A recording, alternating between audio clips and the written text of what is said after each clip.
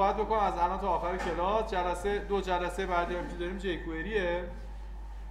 و می‌خوام ببینم React چی هست. می‌بینیم سایتش؟ من خودم تو سایتش یاد گرفتم و یاد می‌گیرم هنوز. گزینه get start رو می‌زنی قبل از که وارد get start بشی ایشون داره میگه که چی هست. component. ایشون class component هستش. extend کرده از React component. به این بچه ها کی و چیز کن. همه تعارف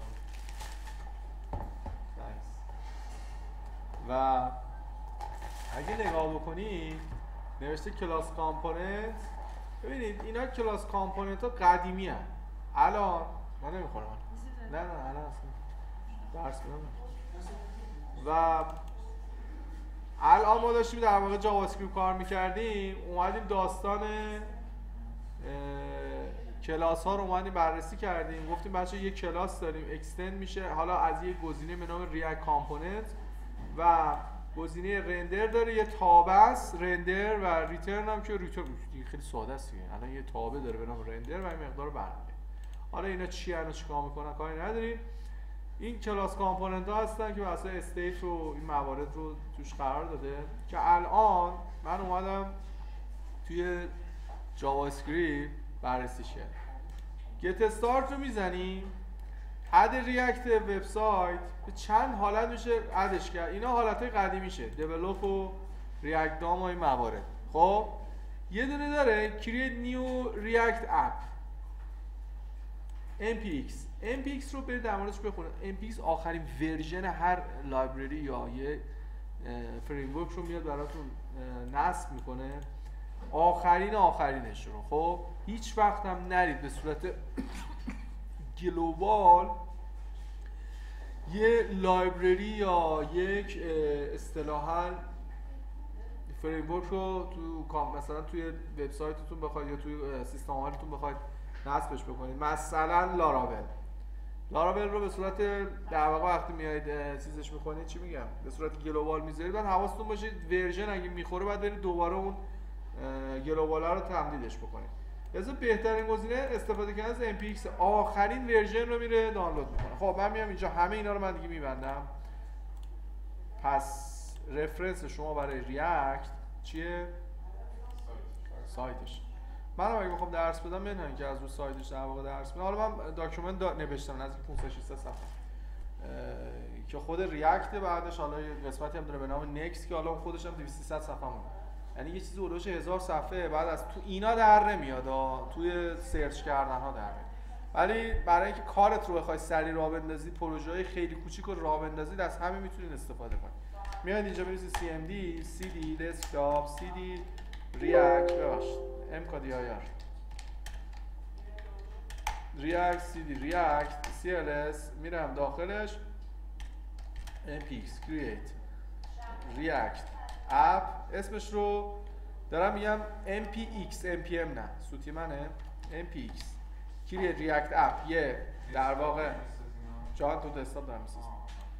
create React app در واقع ورود شما به اون قفل دره رو میندازید. اسم که بخواید چی میگن؟ ریاکت رو می‌خواید دانلود بکنید از این کامند باید استفاده بکنید. اسمش ازش کریت ریاکت اپ. بخونید اینا رو.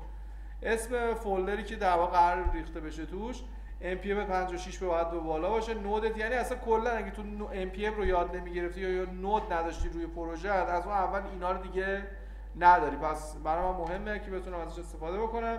می‌نویسم ریاکت میره برای دانلود. Create react app. Okay process. Yes. برو.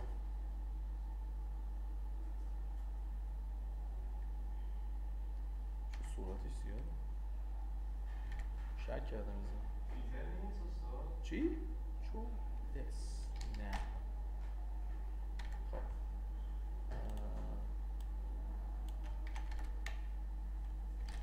چطور؟ MPX create react app react. شاید چون اسم آره. دقیقا. app react بزنیم یه لحظه یک کپیتال نمی‌تونه داشته باشه اون- اون فیلتر هم هست همزمان.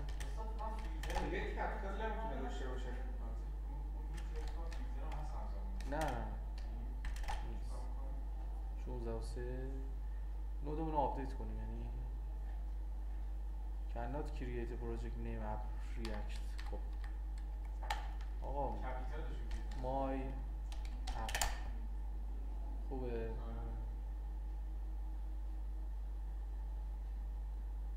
رفت کنم چیز نزنید کپتان نزنید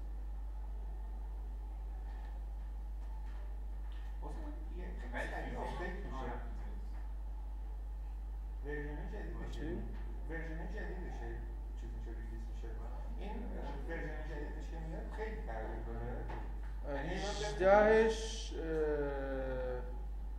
دیگه ترای ناکن ببینید beta React اومده. 18ش complete دیگه hook ی شده. خیلی هم performance ش بهتر شده. دیگه دارن بردن روی hook ها روی functional component ها دیگه دارن رو اون کار می‌کنن. و حالا دارن optimize ش می‌کنن.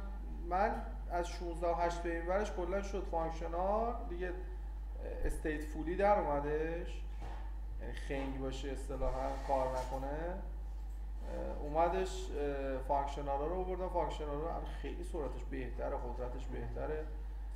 و راحت تر هم هستش. خب طبیعتا رم کمتر می‌گیری دیگه class component ی نیست. ولی در کل شما باید هر جفتش رو بلد باشی. یعنی بتونم. غیر ممکنه ها. من دیشب دانلود کردم پروژه زیر کار کردم؟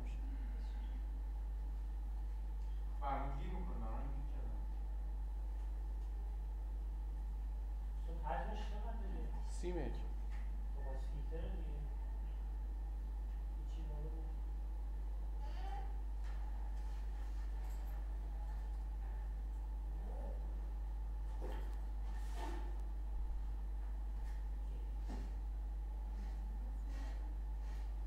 نه می‌گیره آقا وایسی می‌گیره پارسا می‌گیره؟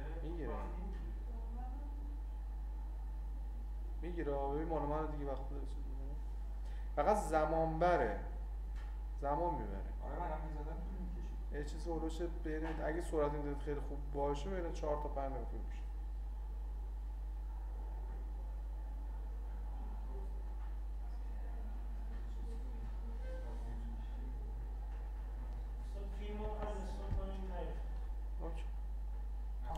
مال من دانلود شد. happy hacking این هر وقت این اومد یعنی که شما دوران دقیقا درست دانلود کردی. میگه سیدی کن تو کلیم npm start.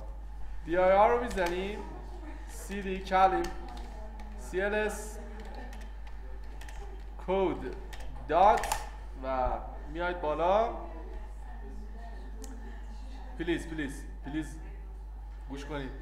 سه تا folder داره. یک node module. همتون دیگه node module رو می‌شناسید. تمام کتابخونه ها فایل هایی که برای React موجود هست و باید بلد باشید و اینجا هستش برای کارتون توی node module public. یه سری دیتاست source یه سری در- واقع dataset gitignore. ignore شدن. package lock package json. درسته؟ readme رو هم می‌خونید. readme داره میگه می‌خواید استفاده بکنی پروژه رو می‌خواید استارت بزنی از npm start. خواستی تست بنویسی npm test. خواستی build بگی آقا خواستی پروژه رو ببری روی هاست npm run build اینا رو براتون انجام میدم. eject که کسی نمی‌کنه eject تموم شد دورانش. الان همه run build ن eject خراب می‌کنه داستان. این موارد رو کاری نداره میایم اینجا. میام توی package json تمام dependency دیگه ببین dependency رو می‌دونی چیه. testing testing ها Jest بهش میگم برای تست ریاکت رو اینا موارد testing هن. React آخرین version ش React DOM React script web vitals web vitals performance کاراتون رو برمیگردونه توی React script ها یادتون script می‌زدیم توی npm کی یادشه npm جان، حسین بگیر. npm script می نوشتیم تو Sass آره. اینا برات نوشته start React script start build script build test و eject خب این مواردی هستش که شما اینجا دارید می‌بینید هیچ کاری من باش ندارم. برای اینکه پروژه رو استارت بکنید و شروع کنید باش نوشتم npm start تمام. می‌زنید میره ریاکت برای اجرا شدن. میاد بالا یه اتفاق زیبا میفته. رو پورت 3000 ریاکت اجرا میشه npm استارت این هم ریاکت ورود شما رو به ریاکت تبریک می‌گویم. اوکی؟